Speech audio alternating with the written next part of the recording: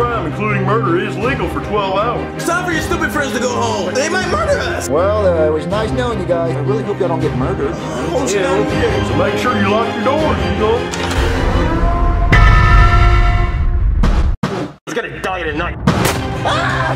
We're gonna find this kid and we're gonna waste them. Do they think that if they let all the people commit crimes on one day, that no one can commit crimes for the rest of the year? I'll go check where you were looking. Not gonna find him